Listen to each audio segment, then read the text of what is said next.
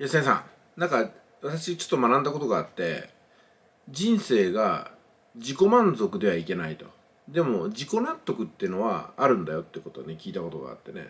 自己納得かと思ったんですよ。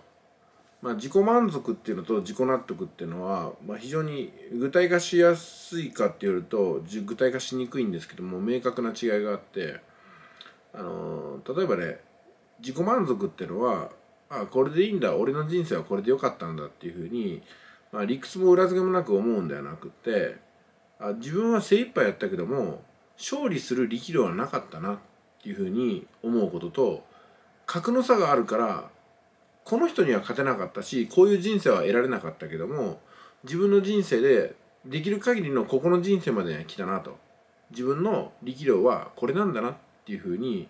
まあ自己納得するんですよね。うん、人にはそれぞれ与えられたあの使命があると思います。使命っていうと分かりにくくてなんかスピリチュアル的なものになりますけどもだって足が速い人背が高い人太りやすい人皆さんそれぞれ使命っていうと分かりにくいですけども特徴を抱えてるんですよね。でその自分の持って生まれた特徴とできる限りの後天的な、まあ、努力なり才覚っていうのを合わせて多分使命ってできると思うんですよ。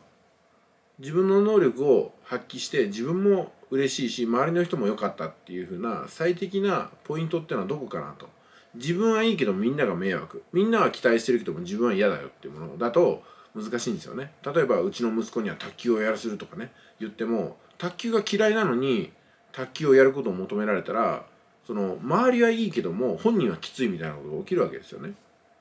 かと思ったら例えばね AV 女優になりましょうみたいなね希望を持った女の子がいるとしてでも周りの人はみんな反対みたいな感じで本人の希望を通すとみんながうまくいかなくなるでもみんなの期待に応えると自分が面白くなくなるっていうふうなその相反するものがあるとした時に自分が選んだことによって周りの人も良かったねって言われるような道ってそのあんまりないけどもでもねあのあるんですよね。でそれがある意味そんなに気は向かないんだけどもみんなが喜んでくれるんだったらまあいっかと思えるような納得感っていうのがあるんですよね。でも自己満足っていうのはみんなが本当に不幸になったけども俺は良かったよみたいなところなんじゃないかなと思うんですよ。で人生をうまく生きていこうと思ったらまあ自己納得にすることかなと思いますしもっと言ったらねなんか自然体で生きていって周りの人もお前がやることだったら何でも肯定できるよねっていうふうにできるような関係が作れていたのかね。まあ様々でございますけども。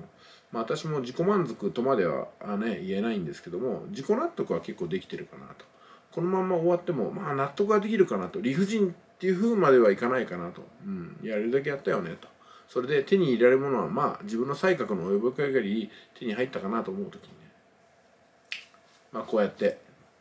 素敵な会社を持つ人が訪ねてくるっていうのもね。まあやるだけはやったかなっていうところですね。はいえー、ということで来週の火曜日ねよろしいんじゃないでしょうか。あのまあ、10時ぐらいに本当に来れるでしたら10時ぐらいでもよろしいかと思います。うちの大和くんはねもう夏休み入っちゃったんでちょっとね、えー、大和くんもちょっと会っていただけるような段取りとかなんかいろいろ組めると思いますんでよろしくお願いします。ありがとうございます。